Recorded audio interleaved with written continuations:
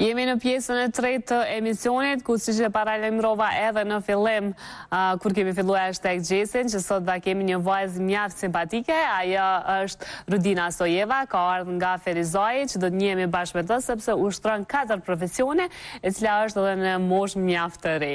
Mirëmëngjesi, Rudina, mirë se erdhe. Mirëmëngjesi, është nder dhe kënaqësi të jem pjesë e emisionit. O faleminderit shumë, edhe për neve është kënaqësi me të pasë sot. Qysh je? Qysh e nise ditën? ditën e nisa mbarë, mund të themi, mhm. edhe me atë energjinë pozitive, me, me mendimin që do vija në, në emision, edhe ka shkuar komplet mirë. Një mëngjes i mbarë, okay. siç parashihet të ndodhë. je person i mëngjesit kështu? Zgjohesh gjithmonë mëngjes? Jam person i mëngjeseve, zakonisht prej ushtrimeve edhe prej gjithë rutinave të ndryshme më ka bërë, mund të themi, person mëngjesi. Po. Kështu që dashte s'dashte jam jam mësuar me këtë personin e mëngjesit. Mhm. Rudina unë edhe të prezantova që thashë që ki katër profesione. Edhe pse në një moshë të re, je ende në në gjimnaz. Po. Në shkollë të mesme, kështu që tregona pak qysh Qysh po ja del edhe me shkollë edhe me me katër profesione me i mbajt? Mund të themi nuk është e lehtë e gjithë ky vrulli i katër profesioneve, por mund të themi me me dëshirën edhe vullnetin e mirë për të bërë gjëra të mira, gjithçka arrihet lehtë. Ë mund të themi është një kalim nga një gjendje në tjetrën. Ë madje madje më është thënë shpesh se je bërë sikur uji që herë merr gjendje të ngurtë, herë të lëngët, domethënë varet nga situata. Por që me gjithë vullnetin e mirë dhe punën e mirë, besoj që gjërat arrihen edhe asgjë nuk është e pamundur. Po Unë besoj që je, je mësu tashmë. Jam mësuar. Me këtë dinamikë të jetës.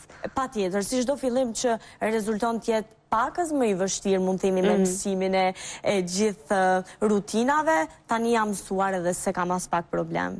Po ndalemi tek baleti. Je kërcimtare, je edhe mësuese e baletit. Tregom qysh fillove më së pari me të pëlqy kërcimi, sa vjeçe ke qenë edhe pastaj qysh erdhën gjanat që ti me u bë mësuese e baletit.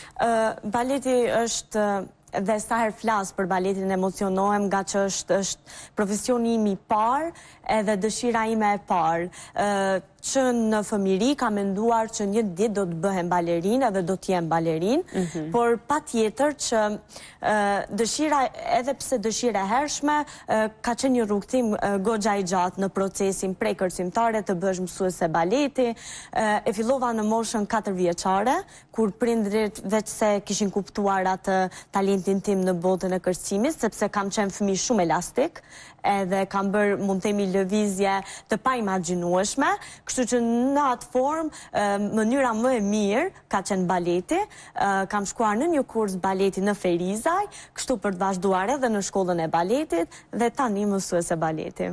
E keni edhe studion tënde të baletit. Po, po. Qysh po shkon?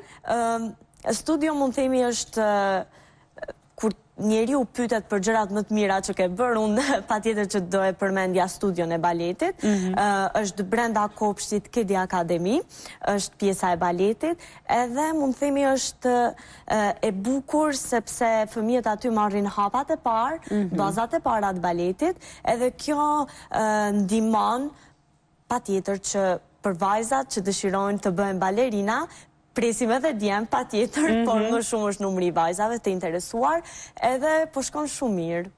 Edhe jam shumë e lumtur, madje para një muaji kishin edhe shfaqje, edhe ajo ndjenja që momenti kur punon shumë gjatë me ta edhe i sheh duke bërë atë lëvizje në shfaqje baleti është ndjenjë e paimagjinueshme sepse mësuesi e di, pedagogu e di se sa ka punuar jashtë mund të themi skenës dhe në momentin kur është në skenë e sheh gjithë punën tënde duke u shfaqur edhe duartrokitjet janë mund të themi nuk mund të blehen me para as me ndonjë vlerë monetare Por kur e sheh që prindi është vërtet i kënaqur me fëmijën e tij në skenë, ajo është ndjenja më e bukur.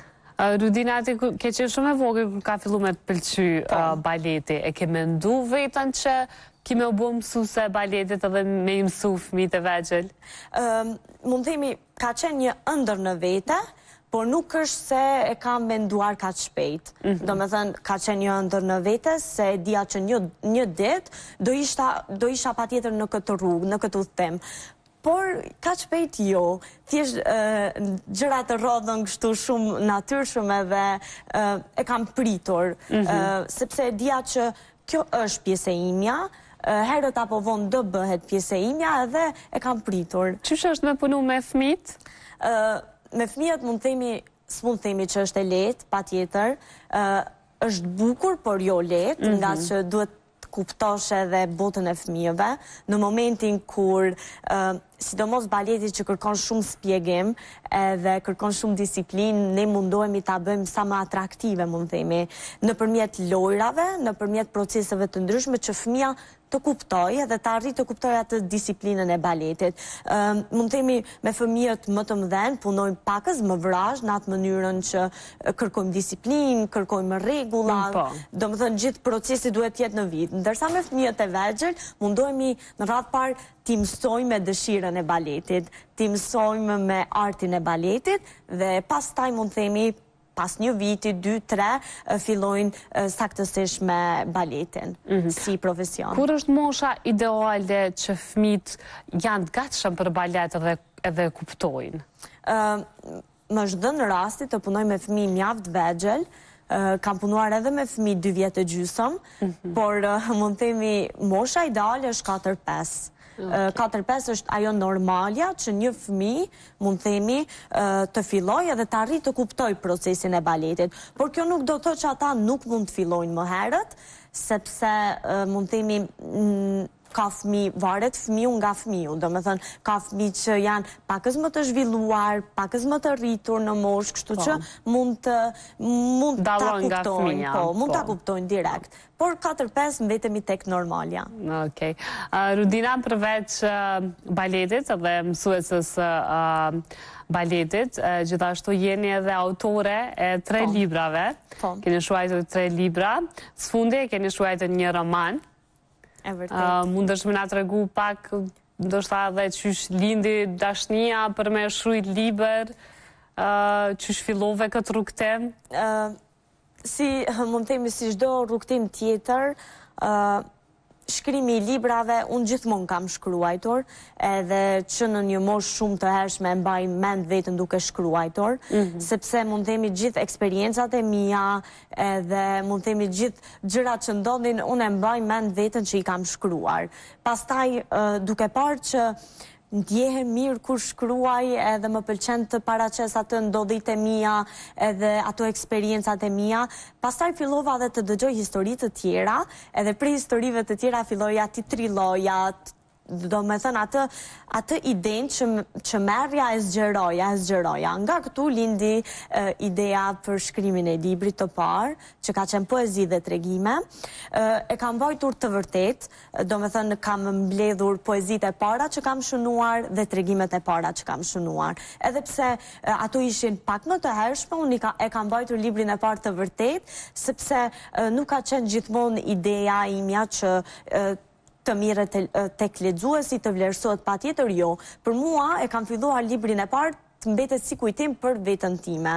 Pastaj, duke e parë edhe interesimin, është e vërtetë që e zgjerova, edhe është bërë tamam një libër, poezi dhe tregime, edhe mbetet, libri i parë mbetet, mund të themi, i pazëvendësueshëm, sepse ka qenë mund të themi fillimi i parë, sepse unë i vlerësoj shumë gjërat e para, sepse mendoj që gjërat e para janë më të mirat, pastaj të tjerat vazhdojnë duke e praktikuar të parën.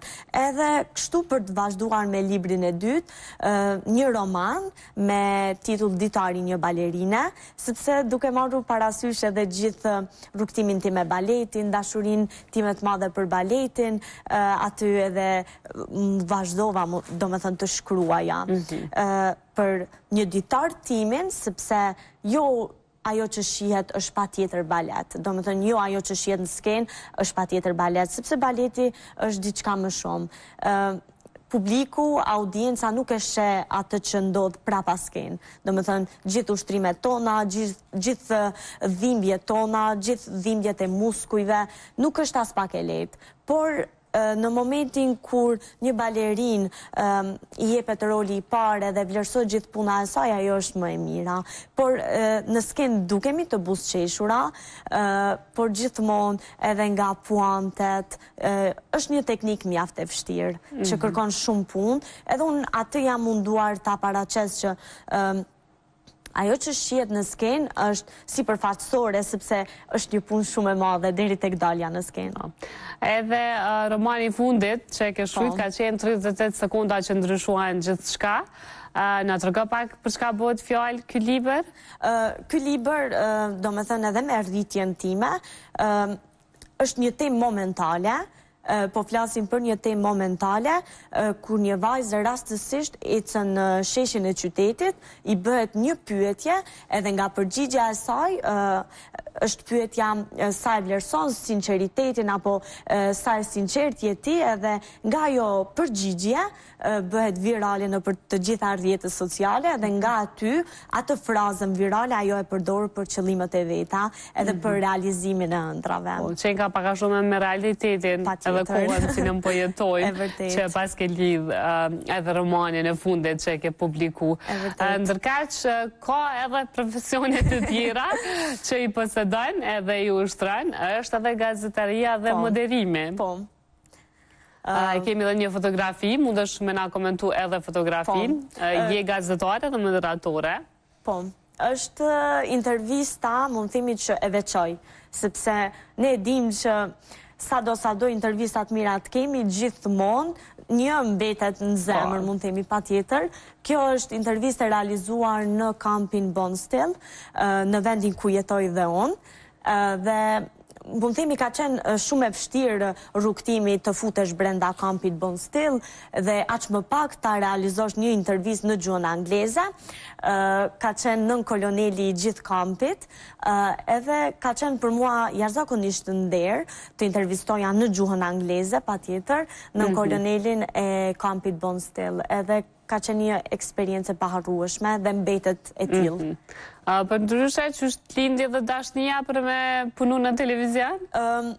Mund themi, ka qenë një gërshetim i daljes time në skenë, sepse në momentin kur dilja në skenë si balerinë, baleti flet me gjuhën e trupit, flet me trupin, me lëvizjet, edhe thellë brenda vinte një zë që unë duhet të dëgjohem, edhe mënyra më e mirë ishte moderimi edhe gazetaria, sepse mund themi u mësova me skenën, me daljet e mia të shpeshta si balerinë, edhe kuptova që patjetër edhe moderimi edhe gazetaria është një pjesë e imja. Ke mendu me vazhdu në të ardhmen diçka me gazetari, me moderim, me televizion? Po, domethënë, patjetër që në momentin kur rritesh në moshë edhe disa gjëra duhet t'anashkalohen, duhet të ndalen, por për mua gazetaria mbetet, mund themi, një rrugëtim i pashmangshëm, edhe besoj që patjetër që do jem në këtë botën e moderimit. Po besoj që për studime ke mendu, po. masi veç je edhe gati në përfundim të gjimnazit, po. çka don me studiu, Rudina? Do të thoja që jam pak e jo aq e fokusuar saktë, domethënë atë që mhm. dua të ndërmarr, ngaqë për për gjithë këto profesione që kam, mhm. është pak e vështirë të gjej atë balancin, por patjetër tek komunikimi publik, dikun këtu do jemi, nuk do lëviz shumë këtu, tek komunikimi, tek skena, ose koreografi, ose këtu, këtu jemi. Diçka që lidhet me artin po, edhe me publikun gjithsesi. Po, patjetër. Moderatore, gazetare, po, autore, e librave, po, mësuese e baletit, po, e gjithashtu edhe kërcimtare. Po. është e fundit. e fundit. Keni kërcyer balet, apo edhe, edhe zhanre të tjera? Patjetër që në momentin kur futesh në botën e baletit, ë, është më se e imponuar të kërcesh edhe zhanret e tjera. Baleti lind me klasiken, por unë kam kërcyer edhe zhanret e tjera, siç është, mund të themi, kërcimi latin, ë, zumba, ë, hip hop, domethënë, gjithçka që ka të bëjë me kërcimin, një balerinë e provon, patjetër. Mandej është edhe kërcimi kontemporan që është mund themi komplet i ndryshëm me klasiken, po aty individet, individit i jepet mundësia mhm. që ai të të krijojë edhe mund themi të shfaqë atë idenë krijuese sepse mund të bëjë kërcime nga vetja, kështu që ajo është edhe një pjesë e preferuar e imja. Mm -hmm. Keni marrë pjesë për shembull në me kërcim uh, apo me balet në po. festivale të ndryshme ose në në për gara të ndryshme? Uh, Patjetër që po, edhe mund të themi jemi rritur profesionalisht nga mhm. gjithë këto shfaqjet e ndryshme, sepse duke lëvizur nga një vend në tjetrin, njeriu e kupton kulturën, kupton, mund të themi, çfarë arti e përqafon atë vend, madje madje dua të cek edhe një rast, kur Një shoqe e imja edhe një mike shumë e mirë e imja ishte në Korenë e Jugut me balet edhe nga këtu domethënë shkëmbenim ato mund themi të bërat ose qëllimet tona që si ishte Korea apo se si shkoi udhëtimi i baletit edhe aty më tha që nuk e prisja në fakt Tha që Rudina jam e fascinuar me mënyrën dhe kulturën në Korenë e Jugut, sepse tha që çmimet ishin aq të lira, por standardi edhe shërbimi ishte shumë, shumë i madh edhe shumë i mirë. Kështu që nga këtu e kuptova dhe bënim ato krahasime që një vend aq i avancuar si Korea e Jugut të ketë mund të themi çmime të ulta, por shërbim shumë të lartë për qytetarët dhe gjithë vendasit, ishte një një dallim mund të themi goxha i madh edhe nga mhm. këtu bënim ato krahasimet se si mund të themi udhëtimi në vende të huaja e zhvillon njeriun si individ edhe e bën të kuptojë mund të themi për kulturat edhe për gjërat që lindin, sepse një njeri kur udhëton kupton, edhe mund të themi përqafon kultura të shumta. Të ka met diçka peng Rudina që ndoshta ke mendu me bo dhe nuk e ke bo asnjëherë? Pengje kemi të gjithë, mhm. ajo është, ajo është më se e ditur, jam munduar gjithmonë që të mos i lë vetes peng asgjë, edhe mund të themi ato qëllimet e mia dhe ato dëshirat e mia pavarësisht vështirësive dhe sakrificave, i kam gjetur gjithmonë rrugën edhe zgjidhjen patjetër. Nuk do veçoja ndonjë peng specifik, tamam peng, por mund të themi ato Dilemat do e bëja, s'do e bëja janë, patjetër, kështu po, që... Po, gjithsesi, të gjithë, të gjithë kush janë, të gjithë njeri janë ato. Cila është andra e Rudinës, apo i jem rri, andra që i ke dosh? Emisioni im titullohet Kape ëndrrën, mhm. edhe do të cekja që I kam arritur ëndrrat ato që i kam menduar, por normalisht që kam edhe shumë ëndrra për të arritur. Edhe rruga do të jetë akoma dhe më e gjatë, edhe shkon duke u bërë më e gjatë, sepse në momentin kur njeriu është ambicioz edhe kërkon shumë, normalisht që ëndrrat nuk mjaftojnë edhe gjithmonë kërkon më shumë, më shumë, më shumë. Edhe unë jam nga ata persona që kërkoj gjithmonë më shumë. Edhe nga ky kërkimi im më shumë, mund të themi kam bërë gjëra të ndryshme. sepse po të kërkoja më pak nuk do të merrja më shumë, kështu që është një një gërshetim, që duhet të kërkosh shumë për të marrur pak, edhe të kërkosh akoma dhe më shumë për të marrur mesatarisht. Rudina, faleminderit shumë që ishe sot në studion e Hashtag Mëngjesit, me na shpalos pak a shumë edhe profesionet që i ushtron edhe i posedon ti dhe me folë për karrierën tënde, gjithashtu dhe për andrat e tua e gjithçka që na shpalose sot, me u njoftu më shumë me ty. Mund themi ishte siç e cekëm edhe në fillim të intervistës që ishte një mëngjes i mbarë mhm. edhe bashkëbisedimi me ty ka qenë mund të themi një ndër bashkëbisedimet më të mira dhe kam kaluar shumë mirë. Faleminderit shumë. Edhe suksese në emisionin e mëngjesit. Faleminderit edhe unë ty po të uroj shumë suksese. E vlerësoj shumë. Edhe po shpresoj që kemi me u pa edhe herave të tjera. Patjetër. me suksese dhe projekte të tjera. Këtu po e